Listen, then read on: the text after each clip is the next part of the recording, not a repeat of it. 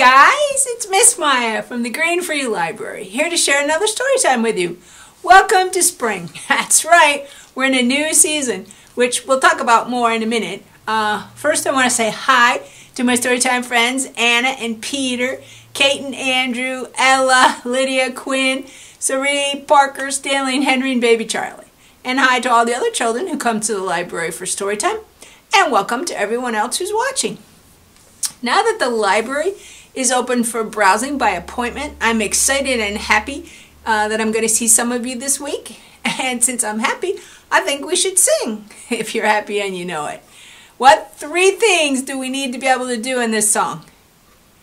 Clap, stomp, and shout hooray. Right, okay. Well, here we go. If you're happy and you know it, clap your hands. If you're happy and you know it, clap your hands. If you're happy and you know it, then your face will surely show it. If you're happy and you know it, clap your hands. If you're happy and you know it, stomp your feet.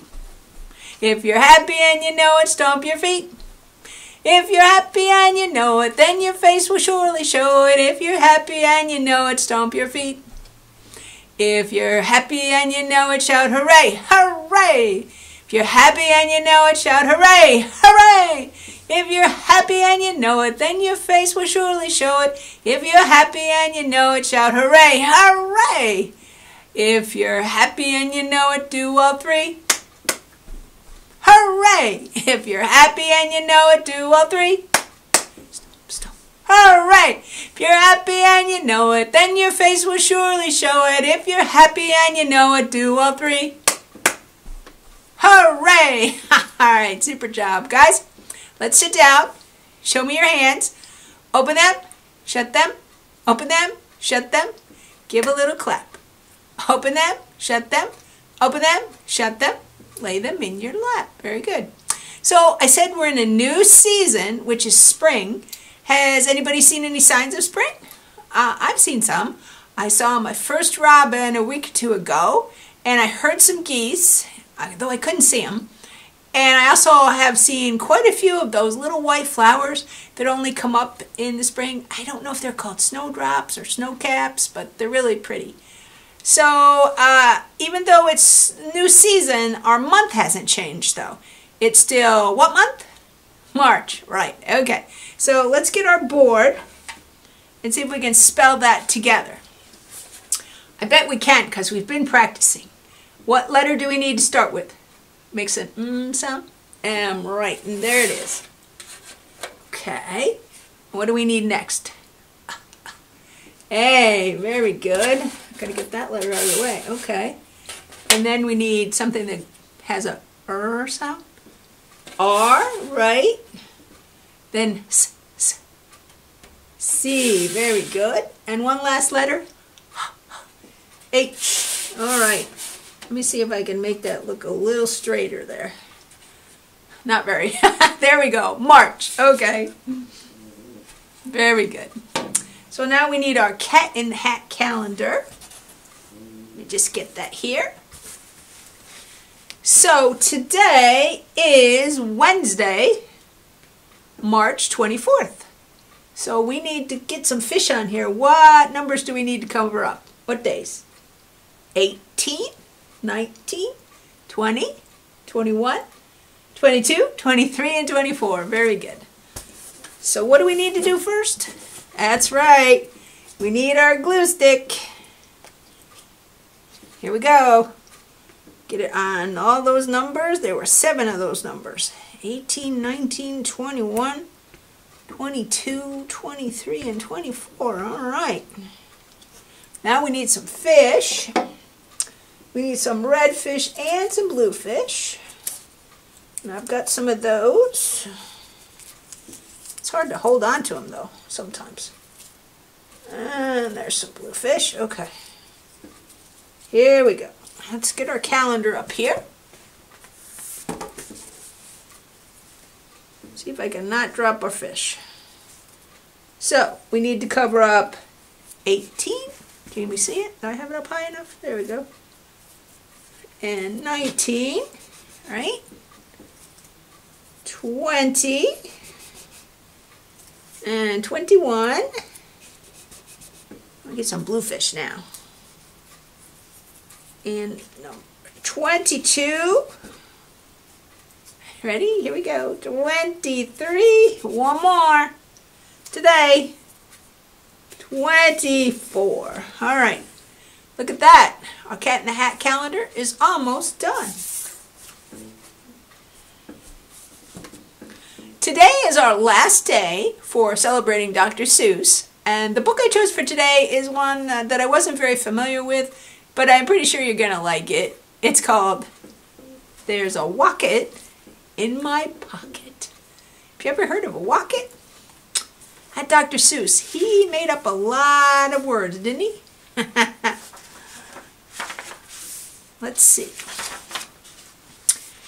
Did you ever have the feeling there's a wasket in your basket?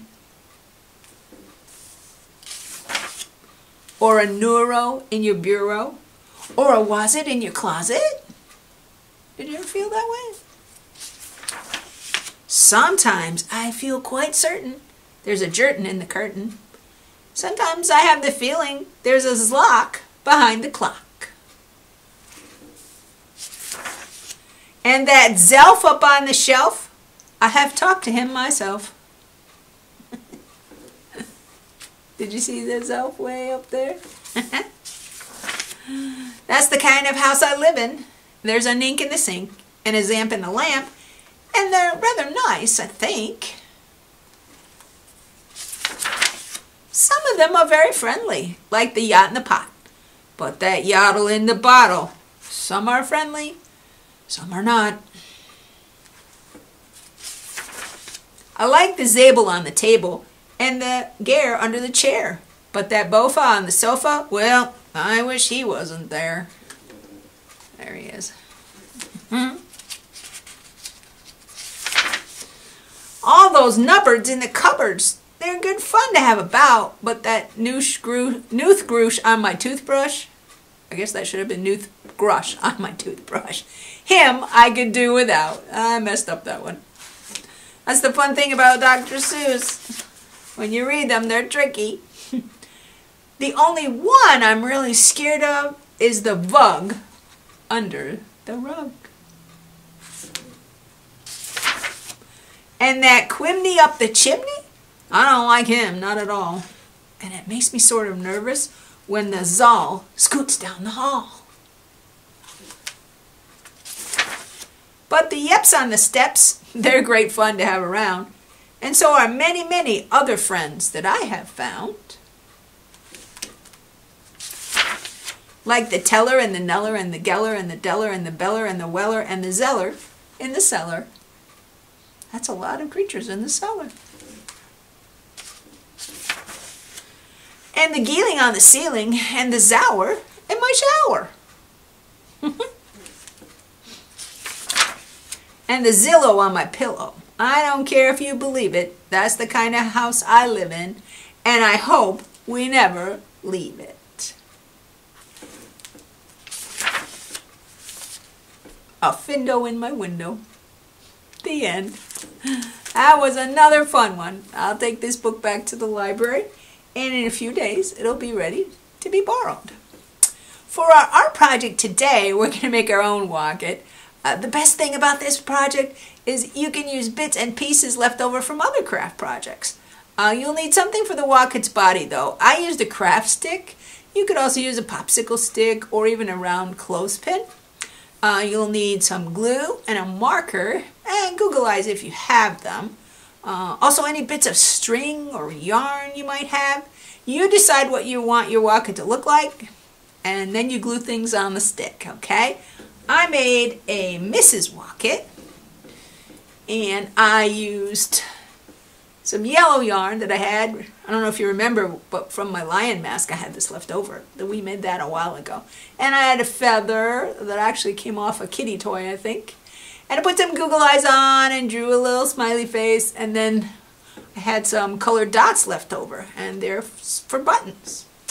Then I made a Mr. Wocket and I had leftover gray yarn that I used for his hair, and it gave him some eyebrows and a face and more Google eyes. and then a lovely purple yarn for a tie. So how about that? What do you think? So now what? Now I need to stick them in my pocket. there he goes. Oh, look, I have two pockets. I can put one in each pocket. And there you have your wallet in your pocket. How about that? All right. So, uh, just use your imagination and have fun with your wallets. Now it's time to play Riddle Me This. All right. Last week's riddle was I'm always running, but I never get hot or tired or go anywhere. What am I? The correct answer is a refrigerator. And we had a correct answer this week. My storytime friend Ella is the winner. All right, she sent in a correct answer. Now, Ella already has an appointment uh, to come in and browse uh, the books this week, so she can pick up her prize then. You ready for our last riddle? Listen carefully. You break me before you can use me. What am I? I'm going to give you a hint this time the answer is something you eat, right? So if you think you know the answer and you want to enter for a chance at a prize, here's what you do. Write your name and answer down on paper and put it in an envelope and put it in the book drop on the porch of the Green Free Library. Or you can call the library with your name and answer. Or you can email the answer to the email address that'll be in the description of this video. The deadline for the, this riddle is 2 p.m. on Sunday, March 28th. Now, if you aren't a patron of the Green Free Library, please submit a contact phone number with your entry, okay? Next week, I'll reveal the answer and choose a winner from the correct entries. Remember, if you win, you have to be able to come to the library to pick up your prize because no prizes can be mailed and you can only win one time. Well, that's all I have for today, guys. Hope you had fun. I did. Make those lockets. Take care and thank you for watching the videos. I'll see you next time. Bye bye.